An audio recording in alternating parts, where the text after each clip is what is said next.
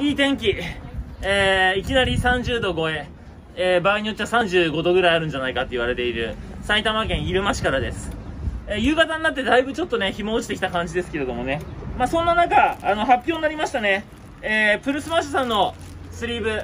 このチューンスリーブに引き続きなんと麻雀スリーブ第2弾じゃん發スリーブが出ました。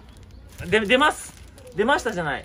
これがなんとですね7月の15日に発売ということで、えー、もうでもでも手元に、ね、現物が届いてるんですけど、えー、発売日は7月の15日です。まあ、それに合わせてまたうち、あの、アマゾンでほら、予約販売とかのね、受付とかもしていこうと思ってるんですけども、はい、初のスリーブが出ます。どうですか、この、チュン初と並んだところ、ちょっといいですよね。はい。これ、この調子でいくと、どんどん麻雀のスリーブ増えていくと思うんで、ご期待ください。そして同時に、えー、初だけじゃなく、卵かけご飯。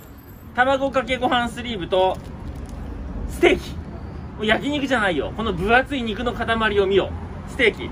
そして、ウッキー。これまたちょっとね、あのー、絵面がちょっとだけ違うんだよね。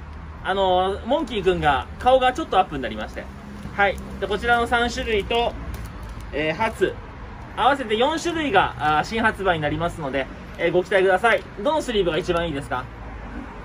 卵かけご飯かな？そう卵かけご飯がいいの、うん、あそう。へえ俺はやっぱり初かな。はい。皆さんの欲しいスリーはどれでしょうか？はい。では